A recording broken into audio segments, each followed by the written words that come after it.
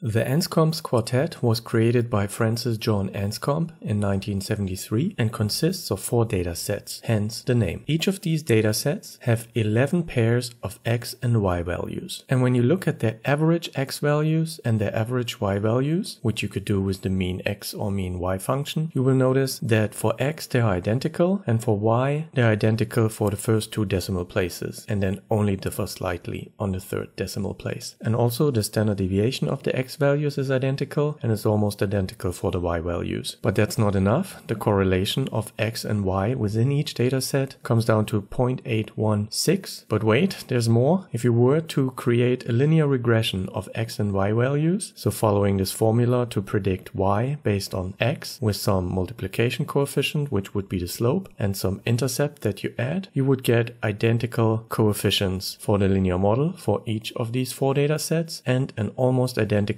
R square, which is the variance explained. So now with all these summary statistics being almost identical across the four data sets, you might wonder how similar they are to each other. And you might be surprised to see that when you actually plot them, they look quite different. And that's exactly the point that Francis John Anscombe wanted to get across. He was an English statistician and he wanted to show the importance of actually graphing the data when analyzing it and the effect that outliers or influential observations can have on statistical properties. Now the three lessons that you can learn from this dataset are one, how to actually calculate the summary statistics and model parameters in R. And I will show you different levels of skill and comprehension. So we will start with the noob way where you will use indexing on the data frame and the actual function to calculate these different statistics. Then I show a first improvement when you can use the apply functions and then it gets even more automated with a for loop. And in the end, I will show you some helpful dplyr functions like pivot wide or group by and summarize. Secondly, I will show you how to visualize these datasets quickly. So going from a basic scatter plot to this advanced chart where we add colors, separate the datasets, change the titles, and adding regression lines, and also removing the axis labels. And the third lessons you can learn from these datasets relate to linear regression. The first chart is what you would expect of fitting a straight line through pairs of x and y values that have some relationship to one another, and where you could then predict additional y values based on x. I will also show you how to deal with underfitting, where the dots actually follow a quadratic function or a polynomial one. And then we will go into analytics of linear regression that deal with influential values, either to notice outliers that move the line that would actually perfectly fit the points away from the real trend by looking at the Cook's distance. And then we will investigate leverage, which relates to points that are far away from the other points and have an unusual influence on the model that we're fitting. If you like this content, subscribe to the channel and give the video a thumbs up. And without further ado, let's get to the R code. First, you have to install the HistData package, which you can do with the install packages function. And then you load it with library. When you type anscombe, you will get this data frame that consists of 11 observations, that's the rows, and 8 variables, which comes in pairs of 4 x values and 4 y values, indicating the different data sets. You can use the view function to look at it in this table format, where you could then sort by x values, and you see for the first three data sets, x is the same for all cases. Just for the fourth one, the x values are always the same and then with one point far away. You should be familiar with indexing, where you add a dollar sign to the data frame and then just select the column you're interested in and that will spit out the x1 values, so the first column. And you could now use the mean function to calculate the average of that vector and you could do the same with the second vector to get your results. If you want to get the standard deviation, you use the SD function and you could separate different function calls with a semicolon and then they come out one after another. And there is a function that makes it a little bit easier called col means, which will give you the averages of all the different columns and the eight columns result in eight results. For the X values, always nine and then the Y values are almost identical except for the third data set. Now, if you want to calculate the the correlation between x1 and y1, you can use the cor function and then you would repeat that for the other three data sets, leading to very similar correlations. So for the first three decimal places, they are the same. And you see that it would be a bit repetitive to get all of these results, but sometimes as a beginner, it's okay to do it that way because you at least know exactly what you're doing and you don't have to learn complicated functions like apply or for loops. But it comes with a risk of producing typos and not noticing them. And also for the future, you want to become more advanced in automating your code and producing results quickly. So a linear model you could do by extracting y1 and trying to predict it against x1 from the data set. It would give you the results. A bit cleaner way is to just use the variables, the column names y1 predicted based on x1 for the formula and then specify the data frame that holds these two variables and it would give you the same result. Now if you use the summary function on that linear model, you get a bit more information. It gives you the function call again, information on the residuals and then the estimation coefficients. So before we only got the intercept and the slope, which we're still getting, but now it comes with a standard error, a t-value and a p-value, talking about how significant these values are and the slope estimate of 0.5 is highly significant with a p-value below 0.01. You have some stars indicating the significant codes and it will also give you the r square value which explains the variance. But that's not all. The summary gives you this information but in the background there's actually a lot more information included in the linear model. With str you get the structure of the results and it tells you that there's a list of 11 items. Some of these list items hold many more attributes and information and it also tells you how to access that information. So with dollar sign coefficients you get the coefficients of the linear model, you can extract the residuals and then later plot them and you can access R squared values. There's one small difference if you run str on the linear model directly and not on a summary instead of 11 list items you get 12 and they also come in a slightly different order. So now with dollar sign coefficients, you can extract the intercept and the slope of the model. And if you use dollar coefficients on the summary version of the linear model, you would get more information like the standard error t value and p value. And if you're then only interested in the first column, you would use the square brackets, comma one to extract the first column Also, the r squared is only available on the summary version of the linear model and you can extract it with the dollar sign r dot squared. So now if you use the base approach, you would have to replicate this for dataset 2, 3, and 4, and then write down the values. But now I want to show you how you can speed up that process. So when you type in apply, it will tell you that you need a capital X, a margin, and a function. And the X is the data frame, a matrix or an array. The margin tells you if you want to apply the function column-wise or row-wise. One indicates rows and two indicates columns. And then the function stands for what you actually want to do. When you use anscombe, the data frame for X, margin 2, meaning column-wise, and function equals mean, it will give you the column means of all the different columns. Previously we did that with the col means function, but now we can change the function to SD for standard deviation and extract all the values quickly. If you only want the Y values, you could specify that for the X argument by only selecting the columns with Y values. And there's also a way to produce both results simultaneously by creating a function X following the fun function argument and then with curly braces include combined vector of mean X and standard deviation X that you then assign to named arguments like SD and mean and then it comes out with both results simultaneously. Next I want to show you the option with the for loop. For that I want to create a vector called which would be the results for the correlation that is created and currently just holds four NAs. And now you build a for loop by starting with the for function and having any placeholder. This could be A, B or whatever. So usually people use I and you want I to take on one, two, three and four as values and I will cycle through these. And for testing, we can set I to one and use that on the first column of the Anscombe dataset. So this is X1 values with the double square brackets. That's a way to access it.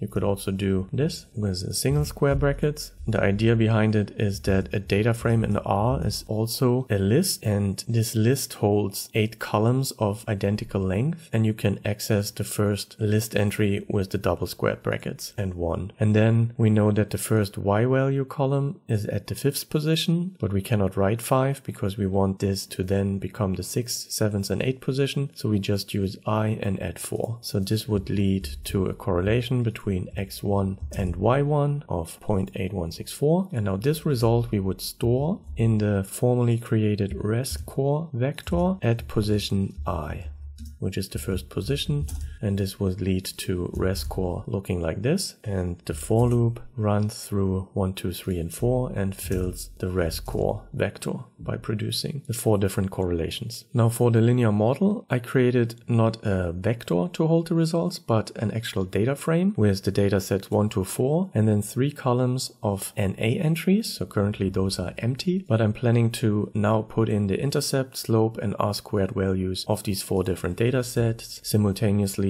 in another for loop. If you would type i again, it has now the value of 4 because it just looped through the 1 to 4 vector. And we know that we can now create a temporary linear model that holds the results of the linear model where we predict the y values based on x. And here I prefer the formula to actually look like this and not like this because now we can access these columns directly to produce the linear model. And first we predict y1 based on x1 and store the results summary in temp lm. Let's just do that for i equals 4. We see now that temp lm has all the results from the linear model. And now we have to extract specific values and store them in the rest data frame. So we could look at the temp lm dollar coefficients to get the intercept and the slope. And in rest data frame, we have two columns called intercept and slope. And for the dataset 4, this would have to go into the fourth row, but we will use i and not 4 because it needs to loop through these different rows. And then we specify the column names. So this would now be row 4, column 2 and 3. And there we write in these coefficients. And then we do the same for r squared values, which we access with dollar $r dot squared. And we store it in the last column of the res data frame called r underscore squared. Then we close the curly brackets and run the for loop. And now when you look at the results data frame, you see for data set 1, 2, 3, and 4, the different intercepts, four different slopes, and then four r square values.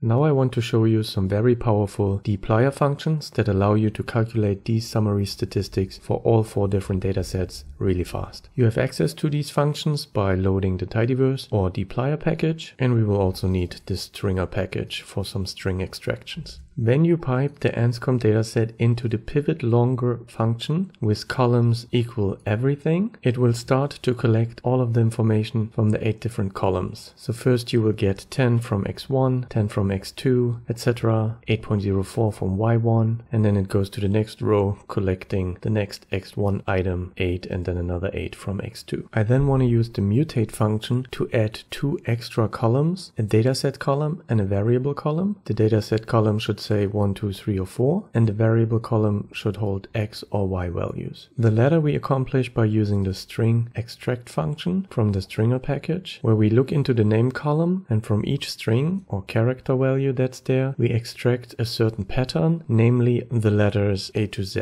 which you choose by this expression in square brackets. So then there would be an extra column called variable that holds x and y values, but I also want to create the dataset column, and this we can do with the case when function. So we whenever we detect the string pattern 1 in the name column, we will create an entry called dataset1.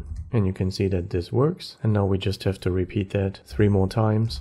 And with this code, we turn the wide Anscombe dataset with eight columns into four columns, but now many more rows. And in the end, I want to have only three columns where one is the dataset and then you have a value for X and a value for Y. And to accomplish that, we need to use the pivot wider function. And this will only work if there is an additional unique identifier that I create with ID and that just repeats 1 to 11 eight times because there are 11 X values for dataset 1 1, 11 y values for dataset 1, etc. So now you can see the ID holds the row information, so to speak. These values all came from the first row and then it continues with the second row. And we can save that in a long data frame. And this I want to pipe into the pivot wider function. And now we don't need the name variable anymore because we extracted the dataset information and the x or y information. And within pivot wider, I want to split based on the variable. So take the names from here, turn it into x or y, and then attach the values to that, which would give you this result. So now the IDs are still here, the data set and X and Y values. And lastly,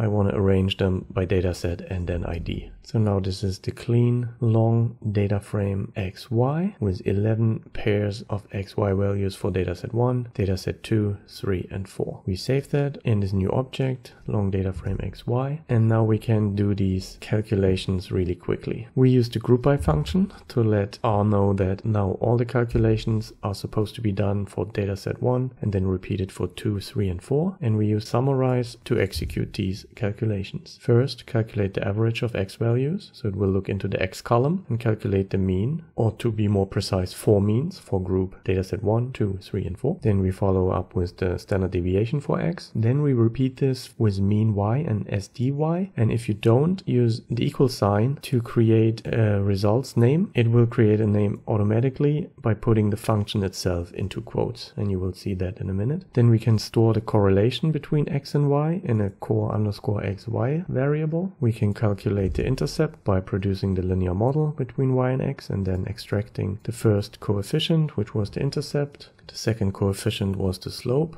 And as a reminder, to get r squared, you have to include the linear model within the summary function to extract that information. And then you simply run the code and you can view the last value that's produced by your code in this way. And now you see for each data set you get average x, standard deviation x, and as I said, if you don't use equal sign, it will put the function call into quotes and produce its own name, mean y, sdy. Here's the correlation. You have the intercept, slope, and the variance explained r squared. And it's just really clean programming. It needs a little bit data manipulation to put a wide data frame into a long format, but then with the grouping of data sets, it's it's really nice to write down. I'm not going to go into too much details. There probably will be a dedicated video on pivot longer, pivot wider, but what we did here with pivot longer and then all these mutations with string extract and renaming with case when, you would get the same result by addressing many of these renamings and pattern recognitions within the pivot longer function, where this will automatically turn it into X and Y columns for the different data sets.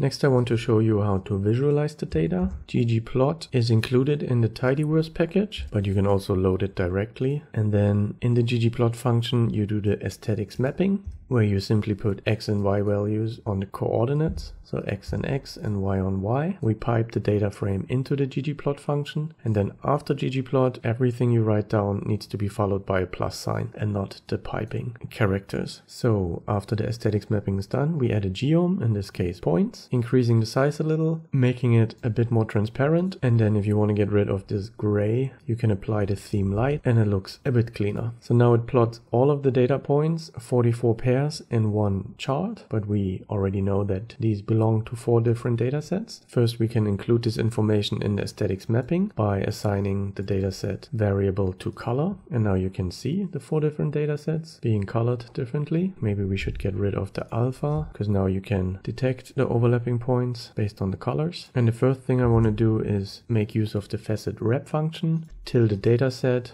which will split this chart into four charts, one for each dataset, which now looks like this. Now we don't need the legend anymore. We can remove it with the theme function and giving the legend dot position function argument character none. So now the legend is removed, but we still have the information in the title of each individual chart. Then we can get rid of this Y and X axis label with the labs function where we just delete the text and we can give it a title. If you use subtitle, then the font size size will be a little bit smaller. And now there are two ways to add a regression line. One is to use the geom abline function, where you can provide the slope and the intercept values, and it will just produce this line. But what I usually use is the geom smooth function that will fit a line through the data points. And if we want to limit that to a straight line, we would set method to lm for linear model. And the ribbon that you see around the regression line indicates uncertainty. So when you have fewer data points, the standard error of your estimation gets wider.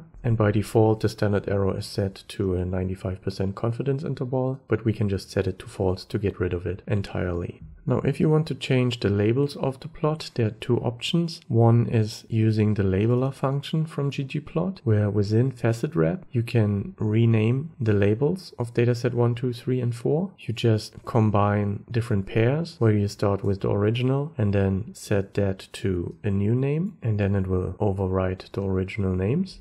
But what I usually do is using mutate to create a new column called dataset underscore name, where I use case when and ask if the dataset is equal to dataset one, call that linear regression, etc. And then when I run the plotting code again, I will change the color from dataset to dataset name and also facet wrap to dataset name. Now, unfortunately, it would change the order of the plots. So the plot with the outlier is now the first one because it reorders them alphabetically. And if you don't want that, you can simply turn this new column into a factor where the levels follow a specific order. And if you execute this code and run it again, now it comes in the order of the levels of this new vector.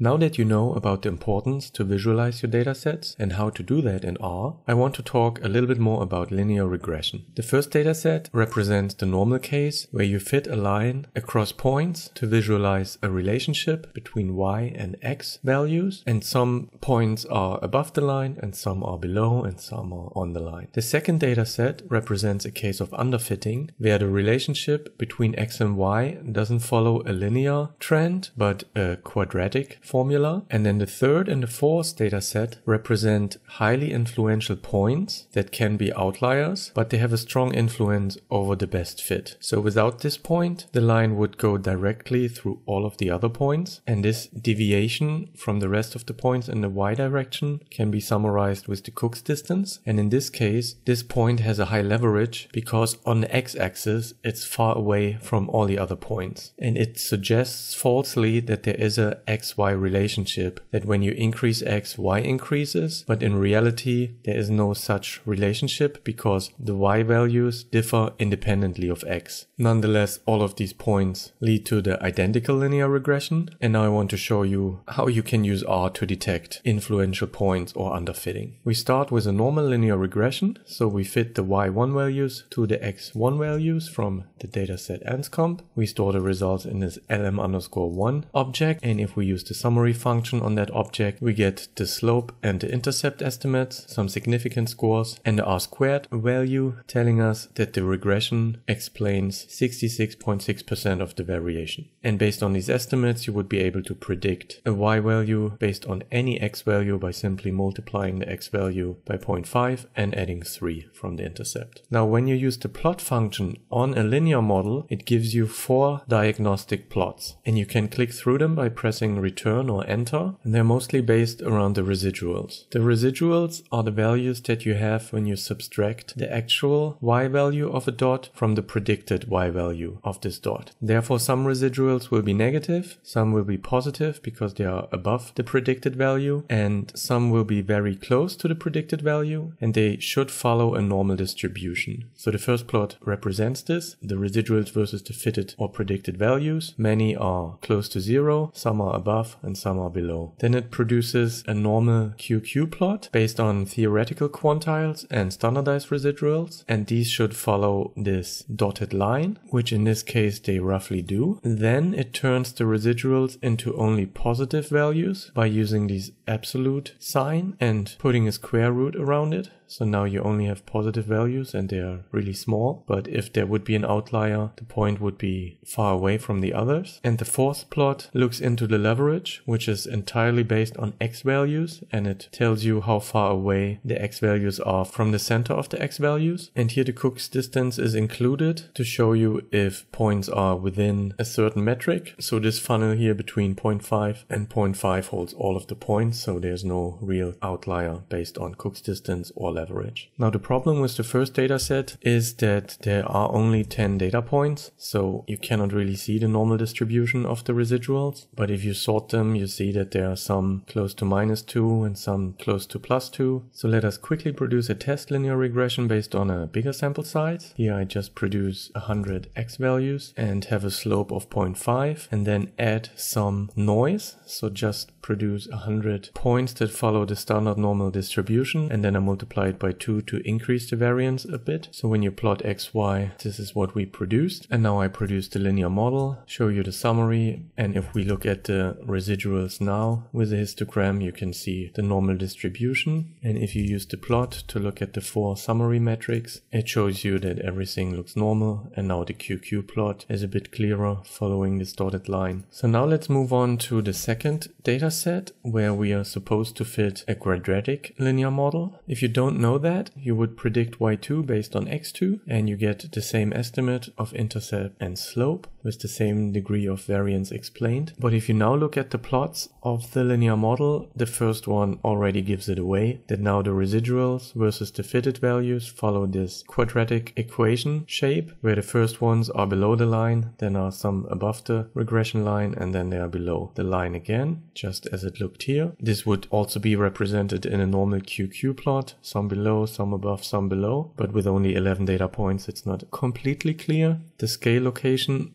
chart also looks not too straight, but a bit bumpy. But now the question is, how can you actually fit a line through the dots that represent this quadratic relationship? There are three ways to do that in R. One is by producing an additional column x2 quad that is just the x2 values squared. And now you can produce a linear model that we can call quadratic, where we predict Q2 based on X2, but additionally also on this X2 quad column. And now when you look at the summary of this quadratic model, you get an intercept, an estimate for regular X, and an estimate for X squared. And now R squared is 1, so we can explain 100% of the variance with this formula. When you enter the coefficients into Wolfram alpha, so the estimate for the X squared term plus the estimate of the X term and the intercept, you get this quadratic shape, which from 5 to 15 would be the second data set, and this is exactly the curve that would go through all of the points. If you plot the data and use geom-smooth, it would go directly through the dots because it's not limited to linear model. It would use the loess function by default. If you set it on being a linear model, you would get a line with some error bars now, and if you would set the standard error to false, the ribbon goes away and it's just showing the line, but this is not the fit that we now expect from the quadratic solution. And in R there's a predict function where you can put in x values. So here I create a data frame based on x values that go from 5 to 13 with some in-between steps. And the predict function will use a linear model or the quadratic model that we fitted here above. And it will calculate which y value would exist if it follows this model. And you hand over a list of x values and x squared values and it will produce the predicted y values. So now every x has a y and we can plot that. And from 5 to 13, the light green color represents the predicted values based on the quadratic model that we produced here. So that's the first way to do it. Produce an additional column with x square values and then use that within the linear model. There are two other ways to do it. One is by using this I function. It stands for as is and it inhibits the interpretation or conversion of objects. So the linear model where we predict y based on x and x squared would now go in in the linear model and x squared would exist as x squared. So this i forces these value to be an expression of the squared x values. And if you produce this lm underscore i model, the summary of the model now give you the same coefficients for intercept for the estimate that goes in front of the x value and then the estimate that's multiplied with the x square values.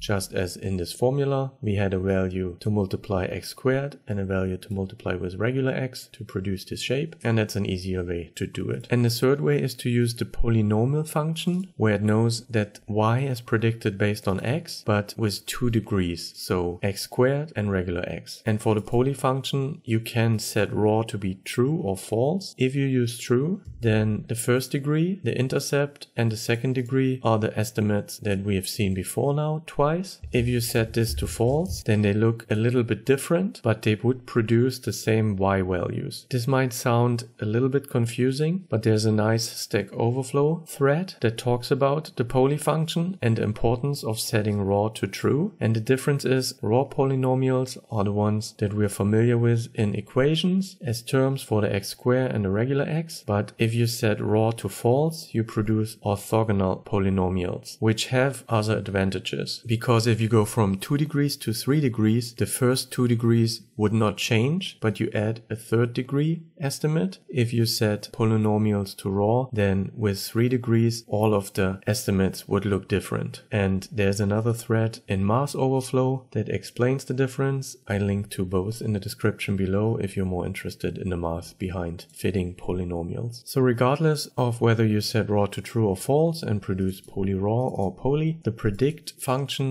would use either of these fitted models to produce y values based on the x sequence. So the predict function works with the raw polynomials and the orthogonal ones. And the proof is here. We add orange points based on the prediction. Now we move on to the third data set where the Cook's distance plays a role. And if you sort the residuals from the linear model 3, where we predict y3 based on x3, you can see that there are some negatives that get close to zero. There are some positives, but then there's one that is already at 3.2, so much further away from zero than what you would expect. You can use the Cook's distance function on this data set and it will tell you that the third point is a little bit suspicious. And for y3, the third point was the one that's way higher than the rest. And if we plot these four charts, you can see that the fitted versus the residuals is perfect for all of the points except the third one. The normal QQ looks weird and indicates that point 3 is an outlier. Same for the scale location, one point deviating from the red line. And now the Cook's distance is the dotted lines here. And there's one point that's outside a Cook's distance of 1.0, which would warrant the removal of this point. There's no problem with the leverage because all of these points are similar on the x-axis. There's no one point that's further away than the rest of them. I mean, there are many points close to the center and then it increases slightly in both directions. And that's what you see here, that there are points close to the center and then it increases, but there's not a single point that's really far away from all of the others. I will also link to the Wikipedia article, but as I said, it's an estimate of the influence of a data point when you do linear regression. It was introduced